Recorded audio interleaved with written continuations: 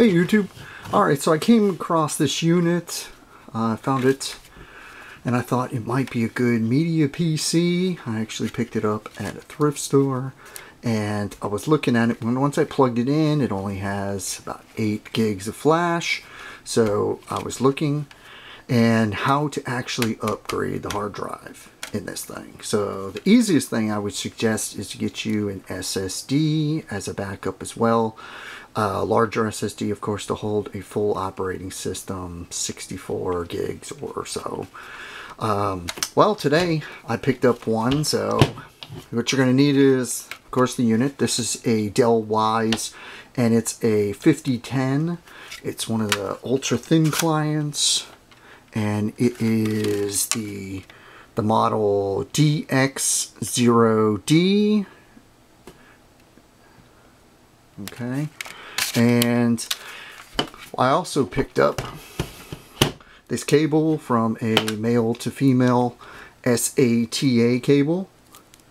And of course you're going to need a hard drive. Now, like I said, you, I would suggest getting a SSD hard drive, but I'll probably do that later. I was using, I was considering using this as a media PC or so. Well, it has, uh, let's see, let's get started. So, it's got three screws in the back, so you'll take them off. Right here. And the third one. Now this cover should slide off, like so, and put that aside. And then now underneath, of course, you're going to see one, two, three, four screws. This one's missing one, so I'll just take one, two, three out. And let's see.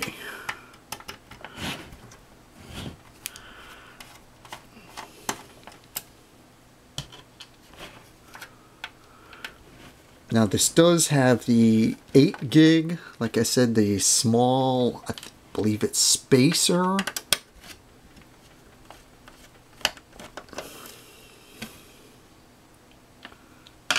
Okay, now it's going to, once you get the screws off, it should slide off the top.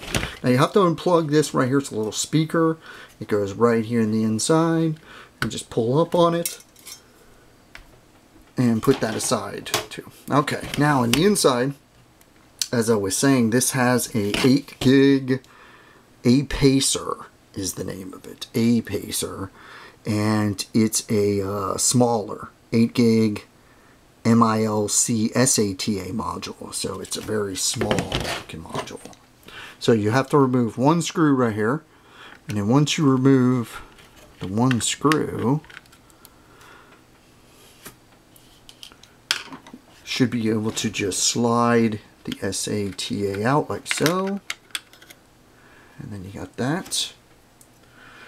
And what I suggest was when you actually put in the cable. Get yourself a zip tie or so so you can actually now if you need to if you need to of course upgrade the RAM it's right here. It's got two gigs right now. Uh, you'll need to remove this small board which has the USBs and the power button attached to it of course. But today we're just going to upgrade the hard drive in it Now essentially you're going to take the male and plug it into the female and it's going to click in like so. And then from there you're going to take the other end and plug it into your hard drive. Okay. Now the easiest thing I found was tucking away the cables down here on the side and then you can push the hard drive into these grooves right here. Now, if the now if the machine is actually going to sit flat like this will, it's okay. But if you're going to tip it sideways, I would suggest finding another way to brace this hard drive or using an SATA hard drive because you know the moving parts in this one.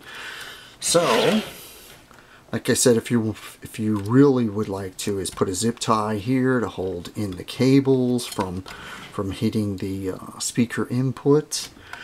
But I am going to just go ahead and do this for now because I do plan on putting an SATA in there in here later. So I'm going to go ahead and plug this back in. But that's essentially how you would upgrade to a hard drive on these Dell Wyse units. But we'll go ahead and I'm going to go ahead and put the power cord and go ahead and test it. Make sure. I actually took a um, a hard drive from another unit and I flashed it to have Windows 10 so we're going to go ahead and try this make sure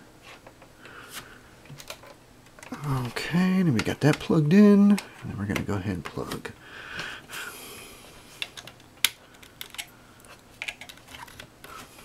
plug in the power Okay, now the unit's powered on. Okay.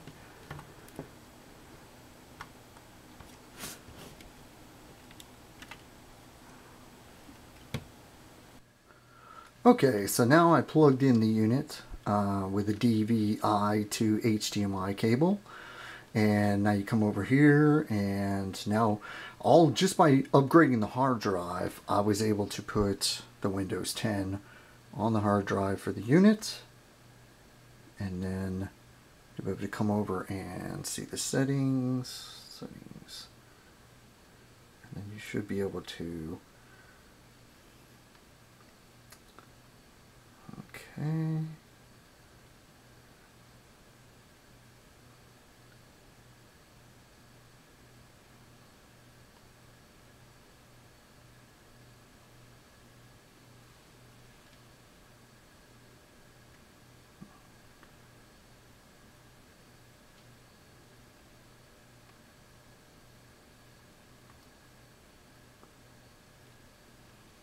Now I have noticed that the, the unit does run kind of slow.